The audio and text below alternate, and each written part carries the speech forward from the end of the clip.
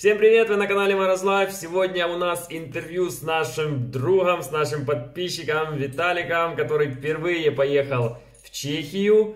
Сложное время, э, период короны, ну, конечно, корона уже длится длительное время, я думаю, еще многие будут ехать и тоже все это на себе познавать, но сам факт того, что Виталик ехал на один завод, э, а попал в итоге на другой, об этом он сегодня все расскажет.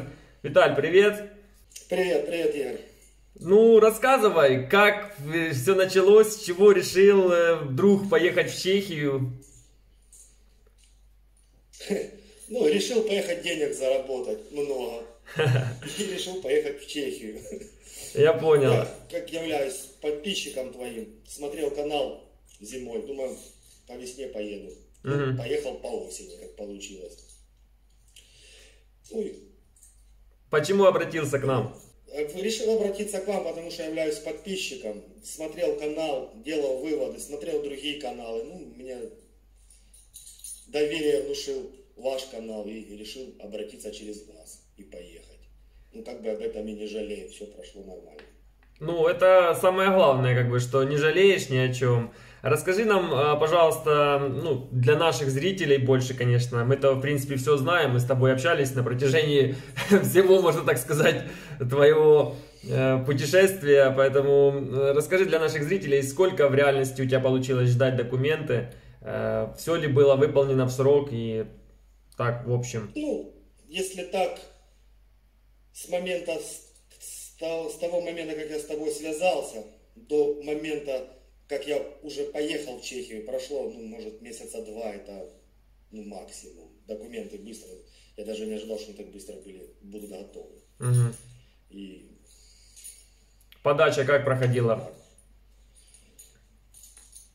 Все гладко прошло, поехал, подал, поехал, заплатил, опять все быстро, в течение полдня все в Харьков, в Харькове все, в течение полдня все это.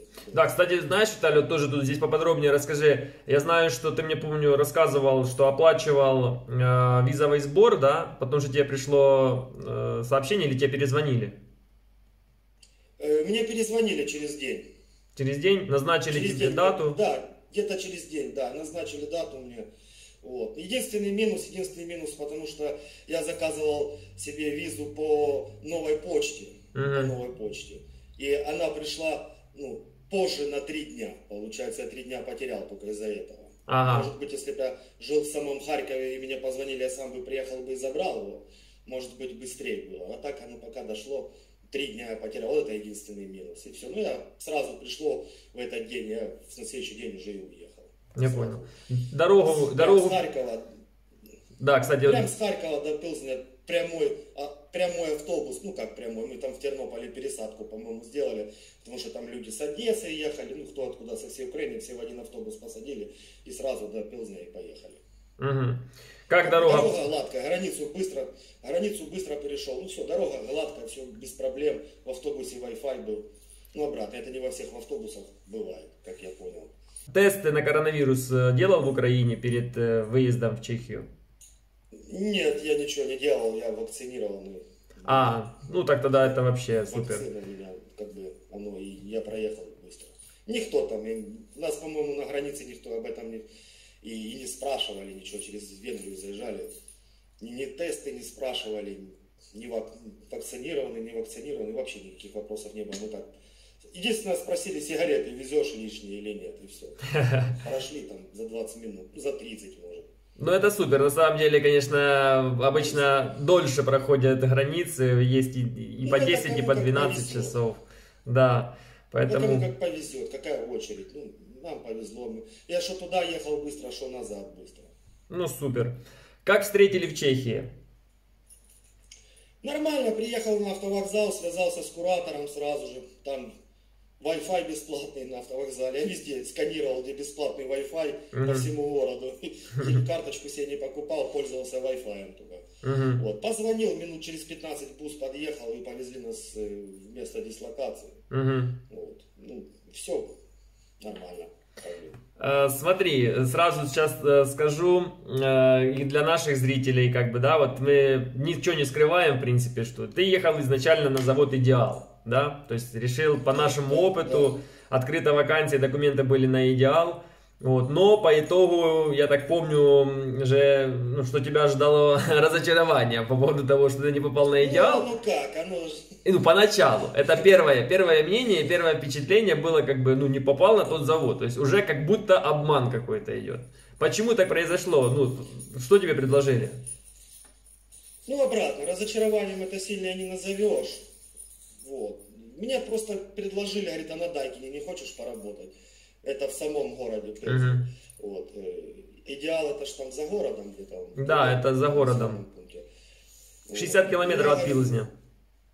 Ну да, я, да мне говорю, все равно, где работать. Я, в принципе, когда изуч, изучал, изучал вакансии по этому городу и по региону, я смотрел по всех предприятиях, которые, на которых люди едут. Ну и плюс-минус, ну там все одинаково. Uh-huh. Ну я остался на Дайкине вроде в городе, но я об этом даже и не пожалел, потому что, ну, мне было комфортно в этом городе работать и жить вообще. Вот. Первое впечатление, когда приехал вообще в Чехию, приехал, поселили в общагу, как вообще было? Впечатление. Ну, конечно, у меня сначала было непонятно. Ну, а на заводе вышел, пока ввели в курс дела, там ничего сложного нету, конвейер. Ну, поначалу пришлось привыкать, это неделя или две, пока я привыкнул к этому ритму. Угу. Перерывы каждые два часа по 15 минут. Угу. Я так не привык работать. Привык к этому вообще нормально. Ничего страшного нет. Человек ко всему привыкает и Поначалу, да, было. Ну, как это, оно как у всех людей. Боязнь или страх нового. А все там хорошо было. Работали, крутили кондиционеры. Ну, обратно, тоже завод такой своеобразный. Куда кто попадет. Те, те ребята, которые с нами были, мы сначала, когда приехали, три дня проходили шкаление, нас рассказывали, там учили, как шуруповерт в руках держать, как провода, клеммы соединять, там, тесты кое-какие сдавали ну, все сдавали, я не слышал, что кто-то там ничего не сдавал. Все поздавали и потом уже по линиям всех распределили. Но обратно, это уже индивидуально, у кого какой мистер на линии, это зависит от мистера и от позиции, на которой ты работаешь. Где сложнее было, где легче. Ну, как показывает практика, везде люди привыкали, ничего там сложного нигде нет. Ну, а те, кто не привыкал, они, видать, на нигде не привыкают работать. Ну да, это все индивидуально уже. Тут за каждого говорить мы не будем. Мы сейчас говорим конкретно за тебя, потому что, знаешь, как бы, ну, ты рассказываешь, делишься своим опытом, а, это в первую очередь. И мы сейчас говорим конкретно о той работе, которая тебя ждала. То есть у тебя вот реально какие процессы были, на какую ты, может быть, там линию попал, если можно чуть подробнее там рассказать. Вот твоя основная задача, когда ты уже зашколился, тебя обучили всему, ты приходил, вот стандартно там, допустим, смена в 6 утра, об этом, о графике мы сейчас расскажем чуть подробнее, там попозже, вот, а, то есть как все проходило. То есть твоя задача какая была? Приш... Моя задача была на линии одевать крышки сверху кондиционера и решетки, и их прикручивать. Все. И вот так, и вот так вот 8 часов, да? Да. Ну да, сложная работа. Руки не уставали? Нет, ну она не сложная, ну просто конвейер идет, надо это делать быстро, пока руку набьешь, а так там вообще ничего сложного не было. Даже скучно было потом. Ну, это уже, когда уже попозже, да, я так понимаю? Ну да, через спустя две недели, когда ты уже все до автоматизма это отработал, то даже скучно было стоять, уже думаешь, блин, быстрее бы эта смена закончилась. Как вообще по условиям работы на самом заводе? Я же так понимаю, ты входил, видел э, ребят, видел вообще всю обстановку по заводу. Ну, ты уже, в принципе, озвучил, что было по-разному, как бы все зависит тоже от человека, кому-то заходит, кому-то не заходит. Ну, а в целом, завод так как бы нормальный, прикольный, можно целом, работать? Завод, завод вообще хороший, как бы э, японский. Угу по другим стандартам работает. Везде порядок, чистота, ну, отношение нормальное к нам было. Столовая есть. Uh-huh. Мы ходили там, питались там, по-моему, 25 крон э, оплачивали мы, а остальное там завод платил. Ну, еда нормальная. Туалеты, раздевалки, все на высшем уровне. чистота. Ну, на рабочем месте мы тоже порядок после себя, конечно, убирали. Угу. Саморезы собирали, те, которые падали. Угу. И все. Те, которые падали саморезы, так понимаешь, нельзя было использовать повторно, закручивать решетки и так дальше. Правильно? Можно, можно было. Можно? Если успеваешь, да? Нет, ну нет, ну у нас там выделялся, к примеру, мы вот в пятницу в конце смены там у нас ну, план выполнили, у нас там осталось 3 или 4 часа ну, до конца рабочего дня. Угу. Ну, мы там час походили туда-сюда там с метлами, ну как оно обычно бывает, пособирали эти саморезы. Так за месяц ведро целое насобиралось, мы его потом перебрали и обратно повторно использовали. Или же это как фушка, кого-то оставляли на подработку перебирать эти саморезы. Ну это как пример. Вот. А так. Э, кстати, какой у тебя график был? По сколько часов работал? По 8 часов. То есть по 8 часов, при часы какие-то дополнительные иногда были или нет? Субботы, может, какие-то выводили? Были, я, иногда были, но я не брал их. Чего? Ну, я работал параллельно еще на другой работе. О, это уже вообще интересно. Ну, это сейчас, подожди, погоди с этим. Сейчас чуть-чуть дальше расскажем. Э, Виталий, расскажи поподробнее по поводу отношений к иностранцам. Я так понимаю, там э, много агентур на заводе работает. И, ну, Чехов... Да, так... да, там... Чехов, понимаю, так не, не очень много, да? Не, почему? Чехов там тоже много. Ну, и агентур много, и украинцев там много, и белорусы есть. Угу. Там, ну, русскоязычного населения там хватает. Какое отношение к вам было со стороны чехов? Ну, вот лично по себе. Я не говорю сейчас за всех, а я говорю сейчас за тебя конкретно. То есть вот к тебе как относились? Нормально, ненормально? Как ты себя вел? Ну, не то, что там сейчас, знаешь, как э, директор в школе, а как ты себя, Виталик, вел? Там хорошо или нехорошо? То есть в реальности, вот по своему ощущению внутреннему. Вот у меня лично первая ассоциация, когда мы приехали, к нам относились нормально. Ну и мы себя нормально показывали. Как у тебя было? Ну, аналогичная ситуация. Нормально ко мне относились, и я себя нормально вел по отношению к ним. Никаких не было претензий. То есть не было такого... минус это языковой барьер, потому что я чешского не знаю. Но это дело поправимое, я думаю. А так нормальные люди. То есть не было такого, что ах, ты такой секой, приехал там, э, все такое, подобное, понаезжали нет, тут? Нет, нет. Нет, там вообще в Чехии нормальное отношение к русским, к украинцам. Ну, как бы, я не слышал даже такого, что какие-то конфликты были. Угу. Я слышал, конфликты в Польше у людей были с поляками. Ну, а за Чехию я, сколько у меня знакомых и вообще я общался с людей, я ни разу не слышал, что в Чехии были какие-то конфликты. Может, какие-то локальные у людей, у людей личные там какие-то есть. А так, в общем, ну, нормально. Приветливая страна, приветливые люди. Надеюсь, еще туда поеду. Ну окей, спасибо за информацию. А, расскажи, пожалуйста, по жилью. То есть какие условия вас ждали? Жилье, я так знаю, что у тебя было бесплатное, то есть ты за него не платил. Какие условия там? Хорошие, нормальные, терпимо, нетерпимо, с клопами, с тараканами и так дальше? Не-не, клопов, тараканов не было. Нормальное жилье, комнаты на 2-3 человека. Мы сначала вдвоем жили, потом втроем. Э, на этаже у тебя душ, стиральная машина, кухня, все есть для жизни. Угу. Плесени не было, ну, нормально, я не знаю, Wi-Fi был бесплатный. Угу. Ну, обыкновенная, обыкновенный хостел, без всяких там заморочек и ничего лишнего, я не знаю, даже как тебе объяснить. Обыкновенный хостел. Ну, об, общая сами, получается у вас... Сами, са, сами поддерживали там порядок. Угу. Два дня в неделю мы выходили, все убирали. И свои комнаты, и коридоры, и ванны, туалеты, все мы сами убирали. Угу. И все.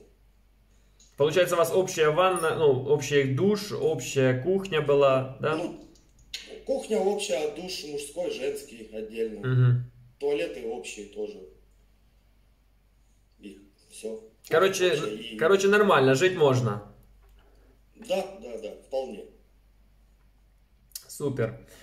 Хорошо, теперь переходим к тому вопросу по поводу того, что ты озвучил, что ты не хотел брать причасы дополнительные, потому что у тебя была другая работа. Расскажи, пожалуйста, об этом поподробнее. Я так понимаю, что где-то что-то промутил, прокрутил. Это можно, это можно так сказать, знаешь, опыт, э, которым многие люди э, не пользуются. И здесь вот именно сыграло важно ту роль, э, то, что ты жил возле Пилзня, да, недалеко от э, самого города. Да, да. И Слух, да. была возможность работать дополнительно.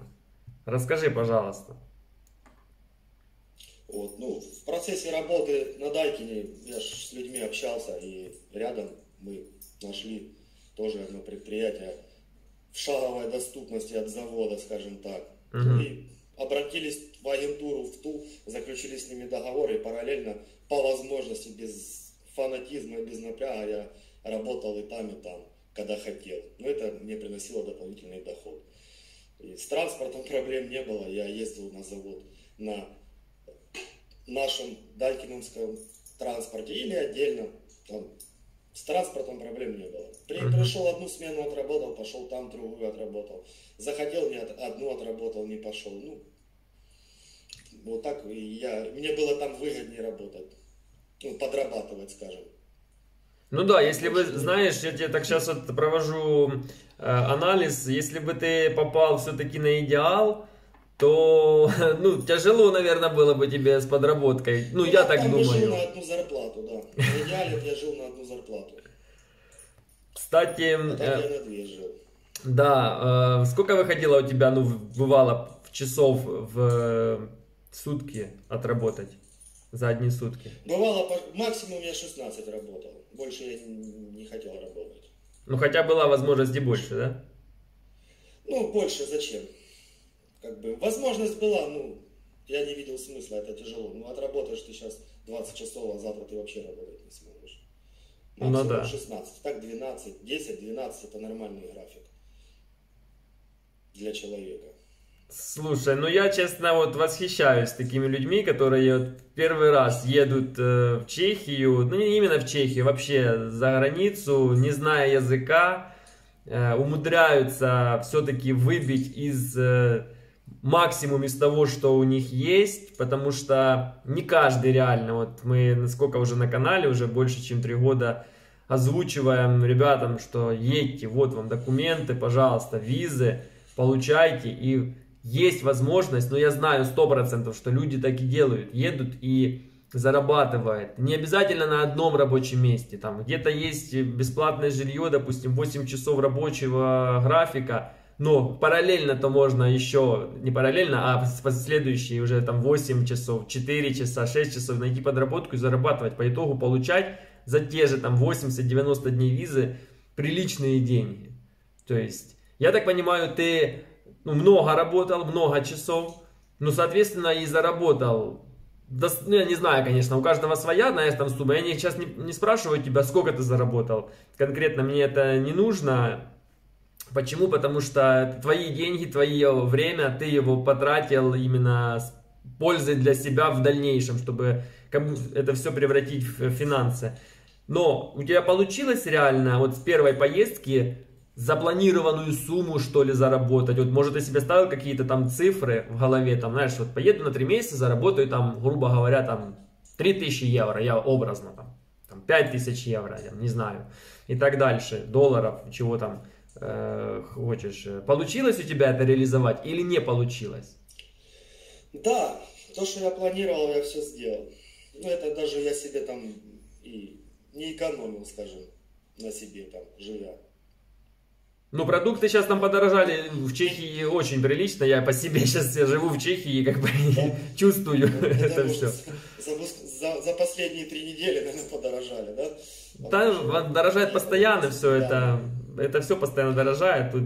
Ну, все равно, мне кажется, там продукты дешевле, чем у нас в любом случае. Ну, это все зависит от того, конечно, с чем сравнивать.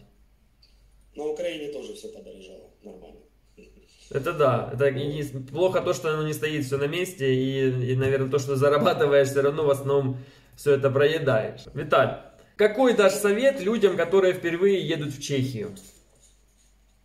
Ну, совет тут один. Брать, ехать и не бояться общаться с людьми там. и искать для себя лучшие варианты, и думать о себе самому, потому что там за тебя никто не подумает, если ты сам за себя не подумаешь. Ну, тут все легко и просто. Едьте, общайтесь, там русскоязычных много. Языковой барьер это такая минимальная проблема, скажем так. Google переводчик в помощь или какие-то другие переводчики, кто использует. И общайтесь, их находите. Агентур много разных, уже там в самой Чехии, именно чешских. И где есть русскоязычные люди, можно параллельно что-то искать другое и работать. Вот и весь совет. Езжайте, пробуйте. Кому как. Мне понравилась Чехия, надеюсь, еще туда поеду.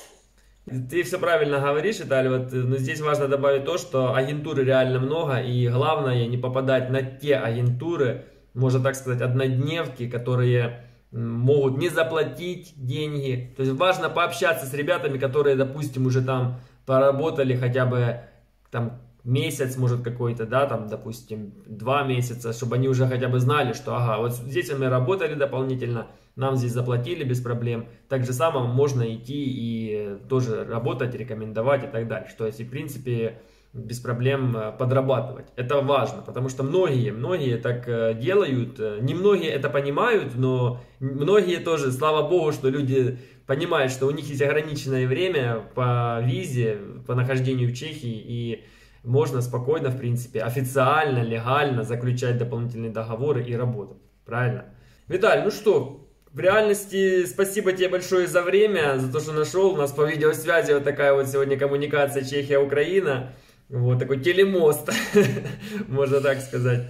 Вот, спасибо за твой опыт. И реально, я тебе еще раз повторю, что произвел на меня впечатление, как э, человек, э, мало, мало таких реально людей, которые приезжают, добывают все, стараются, пробивают э, сами, не просят помощи. Ну да, там элементарные, может, какие-то вещи поначалу там запрашивались, а дальше уже сам все пробивал. Даже я помню, тебе там писал, как дела, а ты не мог даже ответить, потому что ты на работе постоянно был. Я все понял, что значит, если на работе человек, значит все хорошо.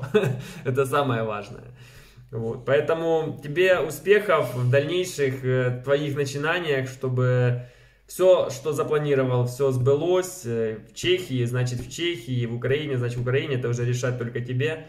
Поэтому тебе еще раз э, большое спасибо, что вышел с нами на связь, что поделился с нашими зрителями своим опытом, своей историей. Так что удачи тебе большое. Спасибо еще Спасибо, раз. пожалуйста, и тебе всего хорошего. Я тоже был рад знакомству, общению. Нормально все. Все мы сделали, договорились, поехали. Я не жалею ни о чем. Все было хорошо. Все, Игоречек, давай пока. Все, пока-пока, спасибо.